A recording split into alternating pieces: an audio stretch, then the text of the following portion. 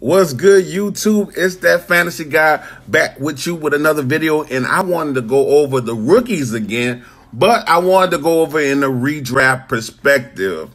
You know, I wanted to give my top 10 rookies who would actually, you know, do a little something this year that would actually have a productive season this upcoming season. Um, well, who I think would have a productive season. So, the list will may, may may look off to you, but it's the rookies who have a best chance to play, to uh, you know, to to opportunity to be relevant and you know have an opportunity to get work on their teams. Let's get it. So number ten, you didn't hear me talk about this guy, Joshua Kelly.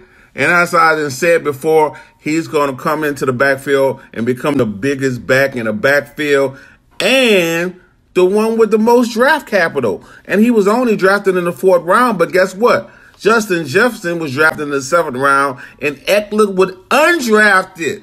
He's going to have the most draft capital in the backfield. Now, that's crazy. Now, you know, you still got to respect Ekeler because he was given another contract, but there's a chance that Joshua Kelly can get a lot of work his first season. And I, have been on the Josh Kelly train. You know, don't fail me, Josh Kelly. Look, I was going to save this for another video, but I know there's a lot of Ekeler fans. But guess what? Ekeler. Ekeler got all them targets from Rivers, and Rivers is gone. So you don't know what Tyrod Taylor going to do. I don't remember him being um, keen to throwing the ball to the running back. You don't know what Herbert going to do, but I would trust Herbert to distribute the ball more than I would trust Tyrod Taylor. Tyrod Taylor to run it himself if he get in trouble, not going to dump it to the running back. So there's a lot of things that um going to go against uh, Ekeler having the year he had last year. So I'm not putting my faith in Ekeler. I will not own Ekeler anywhere. So my number nine, Ke'Shawn Vaughn. Yeah, I know, I know. Ronald Jones is a decent running back when it comes to running the ball. He just sucks at blocking, what may get him in trouble. So, um, as I said in the last video I made, even he let an undrafted small running back beat him out for playing time. And a number of a number of times, his first season and in his second season. Also, there's a chance that Vaughn get in there and beat him out his job and get significant amount of playing time. That's why he's being drafted kind of high in a rookie drafts. And, you know, you got some people that agree with it, some people don't. I mean, sometimes you have to take chances. You know, it's not a conservative um, pick. You know, if if you believe if you if you believe if you believe in being risk adverse, pass because there's a chance that that man might just be a simple backup and not get any playing time. But in the late rounds, why not pick him up? I'm just saying because you're going to be picking them up late rounds in a redraft. All it is is a dart.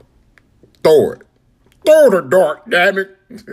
Number eight, J.K. Dobbins. A lot of people might be like, eight. Look, look. Mark Ingram is still there. Please don't disrespect Mark Ingram. Uh, there is going to be a split backfield. I can't see them just giving the reins to J.K. Dobbin, I think Mark Ingram probably is a captain in that damn locker room. I know he's a, one of the head figures. He is a veteran. He handles his business. I can't see them just giving the reins to jo- Dobbins immediately this season. I think he is a great dynasty add because I think he's going to handle his business when he do get that role, which would probably be next season unless Mark Ingram get uh, injured, and I'm just I don't bet on injuries. All right, number seven is Michael Pittman, my guy. Uh, I've been trying to get him everywhere in Dynasty. People are starting to buy into the hype, so I'm not getting him for any deals anymore. But he has uh, a great opportunity to get on the field immediately. He is better than Parris Campbell. The only problem when it comes to putting receivers on this list is because of OTAs, training camp. This is going to be short. People, it seem like players are going to get just thrusted into plan, and wide receivers need to um, get that them reps in with the quarterback. And I believe, you know, all wide receivers are going to be behind on the eight ball. Otherwise, I would put Pittman high on this list. But this he falls. It is what it is. Number six is Justin Jefferson. And that's because after Adam Thielen, who is there in front of him? Uh, Olabisi Johnson? a seventh round pick. But as I told you, as I said, you know, uh, a rapport is needed to be um, built between the quarterback and wide receiver, and he's going to be behind on the eight ball with that. So, Olabisi Johnson might be a deep sleeper. You can get him for practically nothing. Just saying. But we talk about rookies, so this is my number six. Number five is an easy one. Joe Burrow. You know this man gonna be starting from the day one. So automatically put him in your lineup. But when it comes to rookie quarterbacks, you really can't trust him since he's not one of these mobile quarterbacks that's just gonna break the mold and come out, you know, really, really acting a fool in the league. So I don't think he's gonna surprise anyone. So I got him at number five because he's directly, you know, um, going to be in control of this definitely, and he's going to have immediate production. But when it comes to comparing him to the other quarterbacks, it's not going to be much production. You feel me? So Zach Moss should definitely get the goal line touches whenever Josh Allen and not stealing them from him and running him in his goddamn self. Number four is Zach Moss. I've been getting a lot of Zach Moss because no one else likes him.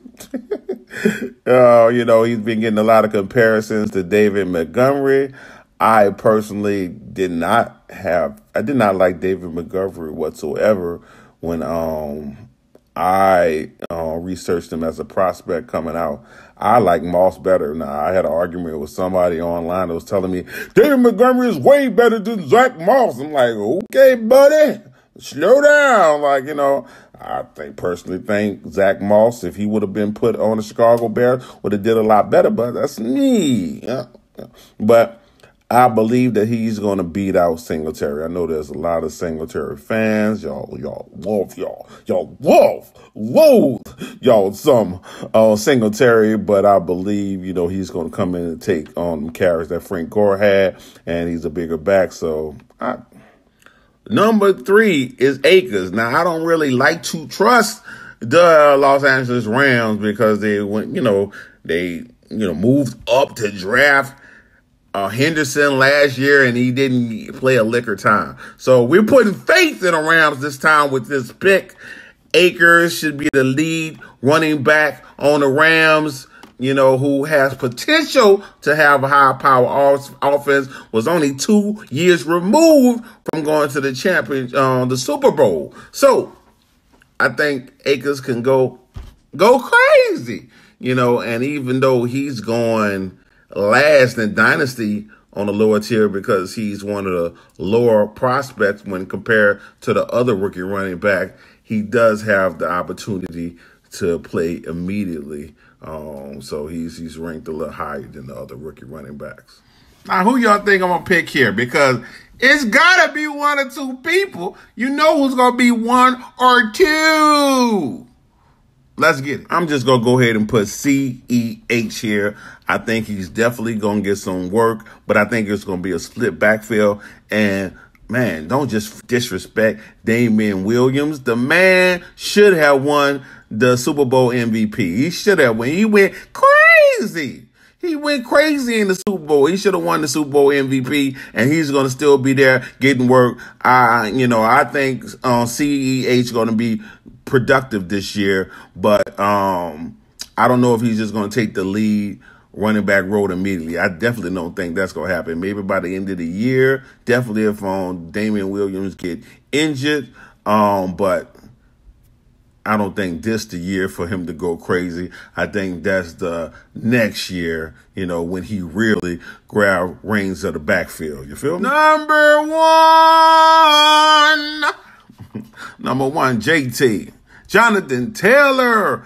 I think it's no reason for Jonathan Taylor not to immediately grab reins of the backfield because what did you draft him for? Marlon Mack not better than Jonathan Taylor? Stop playing games, people. So he should immediately get get that work. He behind a great offensive line. Um, they say maybe the work will be split, but I don't care if the work split or not. If he's getting at least 16 touches, let him. He go. He gonna do his thug dizzle. You feel me? He gonna do his thug dizzle. Plus, you have uh, a new quarterback. Um, if if Lord Jesus, if Rivers is dumping off to Jonathan Taylor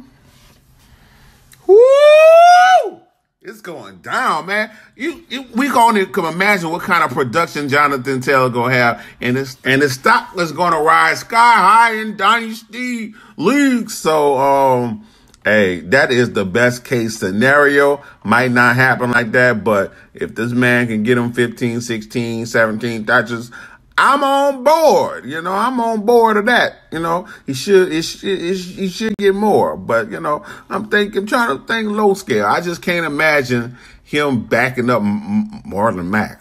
Stop it. Anyway, that's my top 10 people. Don't forget to subscribe and like the video. I'm out.